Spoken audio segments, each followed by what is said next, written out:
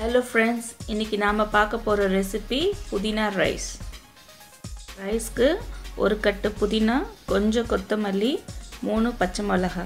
இதெல்லாம் க்ளீன் பண்ணி வச்சுருக்கேன். இதை இப்போ அரைக்க போகிறோம் புதினா கொத்தமல்லி பச்சை மிளகா.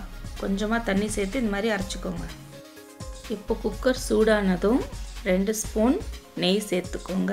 கொஞ்சமாக எண்ணெய் சேர்த்துக்கோங்க. நெய் சேர்த்தா கொஞ்சம் வாசனையாக இருக்கும். நெய் சூடானதும் தேவையான அளவு எண்ணெய் சேர்த்துக்கணும்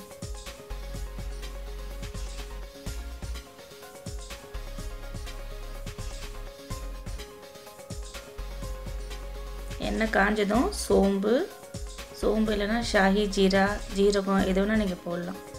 இது பட்டை கிராம்பு பிரியாணி இலை ஏலக்காய் இதெல்லாம் போட்டு அதுக்கடுத்தது வெங்காயம் போட்டு வதக்கிக்கோங்க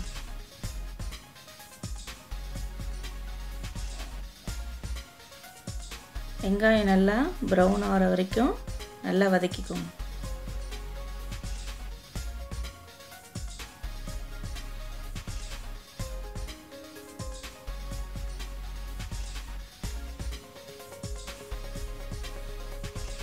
இப்போ வெங்காயம் நல்லா வதங்கினதும் கொஞ்சமாக முந்திரி பருப்பு சேர்த்துக்கலாம் இது ஆப்ஷனல் தான் உங்களுக்கு வேணால் நீங்கள் சேர்த்துக்கலாம்.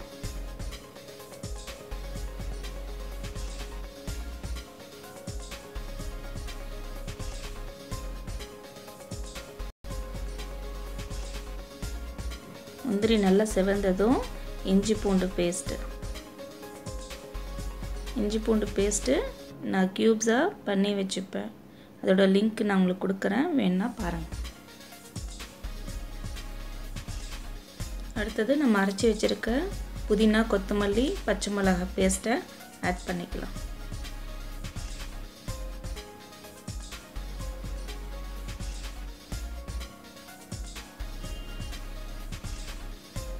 இஞ்சி பூண்டு பேஸ்ட்டு இந்த சூட்லேயே வதங்கிடும். நீங்கள் தனியாக அதை மெல்ட் பண்ணணுன்னு அவசியம் இல்லை. அதே மாதிரி எத்தனை நாள் ஆனாலும் ஃப்ரீசரில் இருக்கிறதுனால அது கலர் சேஞ்ச் ஆகாது. ப்ரிசர்வேட்டிவும் கிடையாது.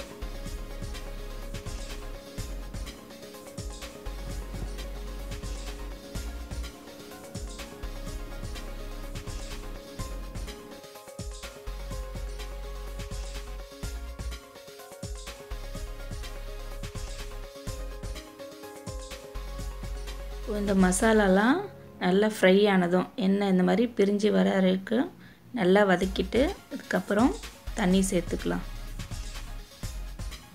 நான் ஒன்றே கால் கப்பு ரைஸுக்கு ரெண்டு கப்பு தண்ணி சேர்த்துருக்கேன். உங்கள் ரைஸ்க்கு ஏற்ற மாதிரி நீங்கள் தண்ணி சேருங்க. அதே மாதிரி நான் ரைஸை ஆஃப் அன் ஹவர் முன்னாடியே ஊற வச்சுருக்கேன்.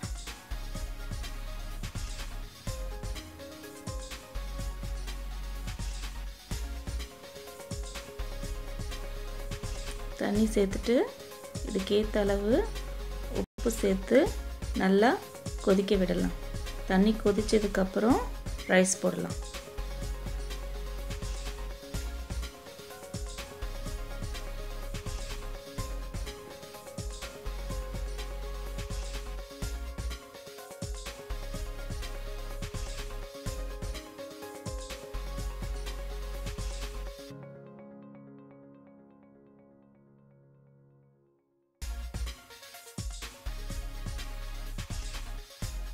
இப்போ தண்ணி நல்லா கொதிக்க ஆரம்பிச்சிடுச்சு.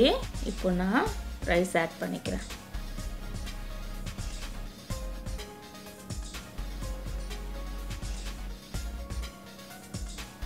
ரைஸு தண்ணி இல்லாமல் ட்ரைன் பண்ணி ஆட் பண்ணுங்கள்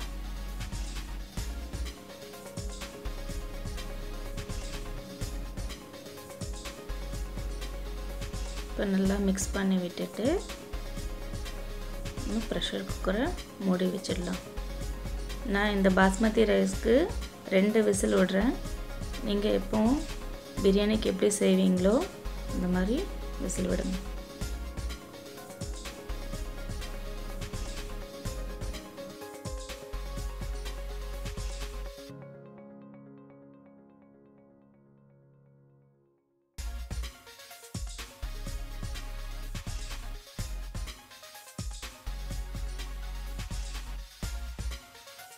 ப்ரெஷர் ரிலீஸ் ஆகிடுச்சு ஓப்பன் பண்ணுறேன் நல்ல வாசனையாக இருக்குது சாதம் பாருங்கள் நல்லா வெந்திருக்கு. நல்லா உதிரி உதிரியாகவும் இருக்குது ஒட்டாமல் இந்த வீடியோ உங்களுக்கு பிடிச்சிருந்தா சேனலை சப்ஸ்கிரைப் பண்ணுங்கள் லைக் பண்ணுங்கள் ஷேர் பண்ணுங்கள்